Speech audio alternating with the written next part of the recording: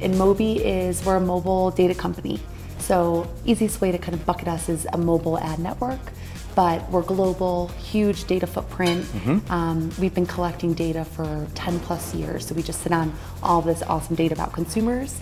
And then we help um, agencies and brands be smarter about how they're targeting, um, with what messaging, and just sending the right message to the right consumer at the right time.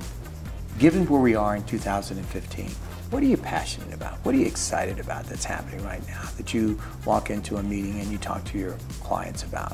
What is it that um, you see has a tremendous amount of value in the mobile tool set for a marketer this year? Not what's coming, but this, This year, year, in yeah. today's plan that they need to execute within days and weeks. Talk a little bit about that. Yeah. Um, something that makes me excited is being able to close the loop for our clients. So we work with um, a big QSR brand and being able to do everything from them from location-based dynamic mileage ads, showing someone who's half a mile from their location an ad, a relevant ad designing the creative for them. So giving them recommendations on how to make the creative engaging, what the consumers are going to interact with, um, different messages for different parts of the day, for different products. So you got the targeting, you got the creative, and then actually the full circle of that is the in-store attribution piece. So we work with Placed, um, who's also here. They're a great third-party partner of ours that help us measure in-store attribution. So being able to close that loop for our clients and not only say we're serving your media and consumers are engaging with it, but now we're able to tell you, and this is how many people converted in store, and even get closer to purchases and um, at what rate they're converting in store, and testing a bunch of different targeting out. Um, did moms convert in store at a higher rate than millennials? And being able to close that loop for them they get really, really excited about that data. So we've been doing a lot of that kind of closed loop um, strategy and testing a bunch of different things, making optimizations, recommending things to them, and just um, being able to have all that data to sit on and then help them be strategic and act more as a strategic partner than just just taking putting media out there in the ecosystem. Really being a consultant and a strategic partner with our um, agencies and brands. What would be the one thing that you'd like to change?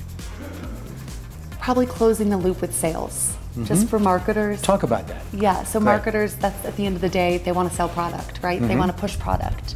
And we're still not able to get there 100% through mobile. Mm-hmm. We can get to in store attribution, we can tell you how many people went in store, but actually closing that loop to a sale, and not even a sale at the store, but what did that consumer purchase? Mm-hmm. Did they purchase the product that we're advertising? That's what I would love. That's like the golden ticket in mobile, I think. If, if someone could solve for that and we could tell them, we can actually close that sales loop for you even further and tell you your media caused X, Y, and Z in sales in this product. I mm-hmm. think that would be just the magic ticket that would be super successful in the space. Because in- intuitively, you know that they're closing sales, Right.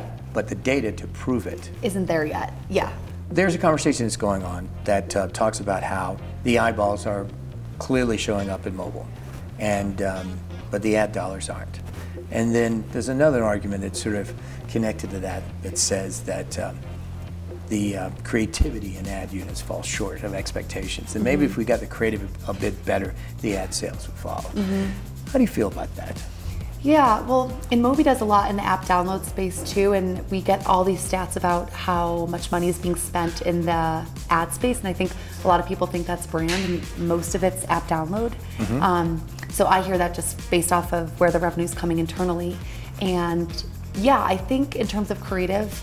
Um, there are people that are pushing the envelope and doing some really cool things. Um, we have a great creative solution. I'm always impressed by the things that our creative team's coming up with, and you are you are limited in terms of the actual real estate on a phone and a tablet.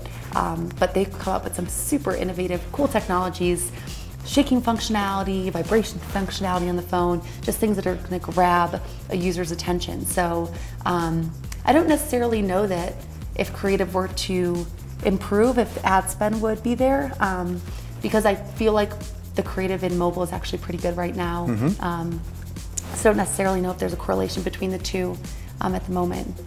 I think people are just still trying to figure out, um, back to our original point of attribution and sales, just trusting that uh, mobile really works and having the data and the tracking to back that up. I think that's what makes marketers and brands most nervous. Not as much the creative innovation, more about being able to prove it out in the mobile space.